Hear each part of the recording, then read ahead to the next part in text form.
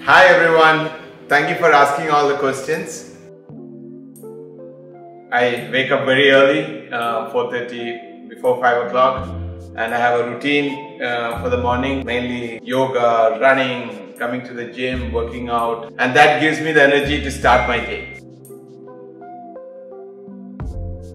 To focus on giving education to the children Narakav School was an initiative for that. I personally wanted to make sure that I contribute to at least 100 schools. After I finished my master's degree, I wanted to take a one year break and go to Florida to learn tennis uh, on a professional level, which uh, I didn't have the courage to do that because uh, money was an issue at that time. I didn't want to depend on my parents, so I decided to go and find a job instead of going to learn tennis. Many of our competitors and hospital owners um, started hospitals for a business. For me, it was how I give back in education and health uh, what motivated me to start Meitra. I, I think because of that, my vision is very different. It is not profit motive. Uh, I always believe that profit should come at the later end when you do something good to the people.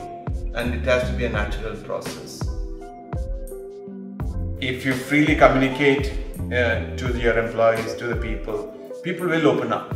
You know, we should have the, we should provide that freedom for people to express and uh, that made ETC the world's best valve company, best foundry in the world uh, in a very short span of a time. And since then, I applied this model in all my businesses and you also can see in Meitra we have a beautiful community center.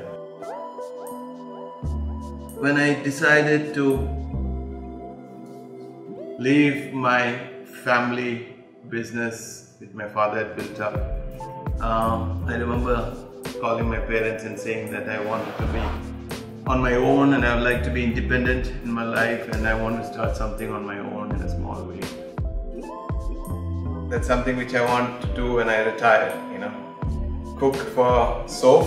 Sof is the uh, the business which uh, Sophia and Sarah uh, uh, and Serena is going to do soon and uh, I want to retire, cook and uh, serve the people who comes to Sof. Bye bye.